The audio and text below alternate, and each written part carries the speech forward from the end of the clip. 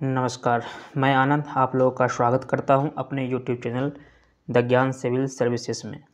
और आज हम क्वेश्चन ऑफ़ द डे में लेकर के आए हैं एक बेहतरीन क्वेश्चन और इसको बनाने का एक सबसे बेहतरीन तरीका। सेकेंडों में आप इस क्वेश्चन को कर सकते हैं। चलिए, इस क्वेश्चन को हम देखते हैं। करें ताज़े फल में अड़सठ प्रतिशत पानी पानी है और सूखे फल में बीस प्रतिशत पानी है। तो 100 किलोग्राम ताज़े फल से कितना सूखा फल प्राप्त किया जा सकता है? देखिए, इसको बनाने से पहले हम आपको चीज़ बता दें कि जैसे कोई एक नंबर है, जैसे कि मान लीजिए एक नंबर है सौ, एक नंबर है सौ। सौ, दूसरा कुछ नंबर ले लेते हैं हम। सपोज़ मानिए एक नंबर है आपके पास एक सौ बीस, एक सौ बीस। और इसको हम दो नंबर के टर्म में तोड़ करके लिखते हैं। दस गुना में बारह। अब इसी 120 को हम फिर से लिखते हैं, जैसे कि हम 10 को घटा करके कर दी इसको लिख देते हैं हम आठ और इसको लिख देते हैं पंद्रह।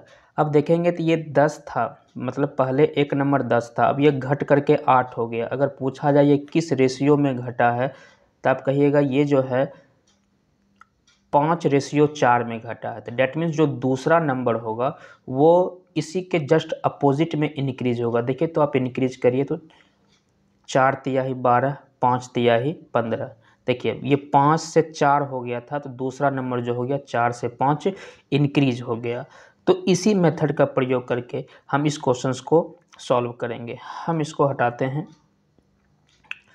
अब जैसे देखिए लागू कहाँ, ये चीज़ लागू कहाँ होता है कि वो चीज़, जो चीज़ फिक्स रहता है, जो चीज़ फिक्स रहेगा, वहीं पे ये चीज़ लागू होगा। अगर हम बोले कि ताज़े फल में अड़सठ प्रतिशत पानी है तो यहाँ पे फिक्स क्या है?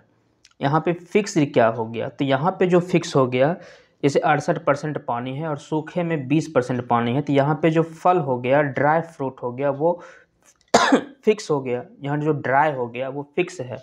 कि ताज़े फल में अड़सठ परसेंट पानी है तो सूखा कितना रह जाएगा? क्योंकि यहाँ फिक्स क्या हो गया? तो आप कहिएगा, यहाँ जो फिक्स रह गया, ये ड्राई फ्रूट फिक्स रह गया। ड्राई फिक्स है। यहाँ पे ये चीज़ जो है, ये फिक्स है। तो आप कहिएगा, अड़सठ परसेंट पानी है तो सूखा कितना हो जाएगा? तो आप कहिएगा, बत्तीस परसेंट सूखा हो गया। अच्छा अब दूसरे में देखेंगे, सूखे फल में बीस परसेंट पानी है तो यहाँ पे सूखा कितना हो गया? तो कहिएगा, यहाँ पे सूखा हो गया। अस्सी हो गया सूखा यहाँ पे।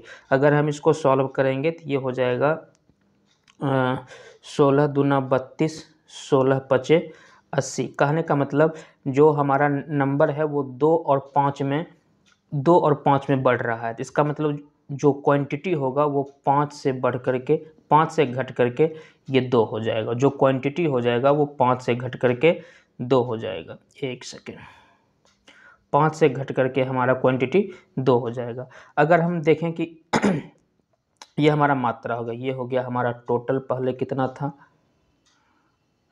टोटल और ये हो गया अभी कितना है? प्रजेंट में। ये हो गया प्रजेंट में कितना है? अब देखिए, पहले कितना था? टोटल सौ के जी था। मतलब ये पहले जो था टोटल ये सौ के जी था। तो कहने का मतलब पाँच का वैल्यू सौ हो गया तो एक का वैल्यू हो जाएगा बीस तो ये दो का वैल्यू कितना हो जाएगा? ये चालीस हो जाएगा। दो का वैल्यू क्या हो जाएगा? चालीस हो जाएगा। तो यही इस क्वेश्चन का उत्तर हो जाएगा ऑप्शन नंबर बी हो जाएगा। एक बार हम फिर से आपको रिपीट कर देना चाहते हैं कि ताज़े फल में अड़सठ परसेंट पानी है। तो सबसे पहले ये पता करना है कि यहाँ पे फिक्स क्या चीज़ रह जाएगा।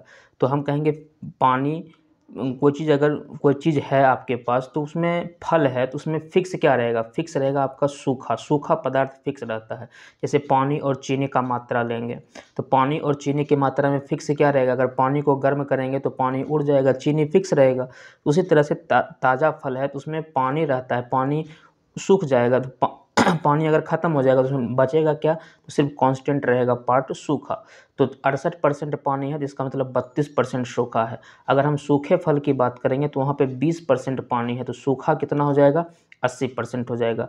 मतलब क्वांटिटी जो है दो और पाँच में घट रही है। क्वांटिटी जो हो गया वो दो और पाँच पाँच में घट रही है। तो इसका मतलब हो गया जो फलों की मात्रा होगी वो पाँच से घट करके दो रहा इसी का रिवर्स में हो जाएगा। पाँच से घट करके दो। मतलब पहले पाँच होगा तो घट करके अब हो जाएगा, दो हो जाएगा। तो पहले जो था सौ किलोग्राम ताज़ा फल था। ये जो हो गया, ये फ्रेश वाला हो गया। पाँच था तो पाँच का वैल्यू दिया गया था सौ। पाँच का वैल्यू सौ हो गया तो एक का वैल्यू आ जाएगा बीस दो का वैल्यू हो जाएगा आपका चालीस। उम्मीद है आप लोग समझ गए होंगे। इसी तरह के कुछ और क्वेश्चंस को लेकर के हम आपके बीच फिर से आएँगे। तब तक के लिए हमें आज्ञा दीजिए। धन्यवाद।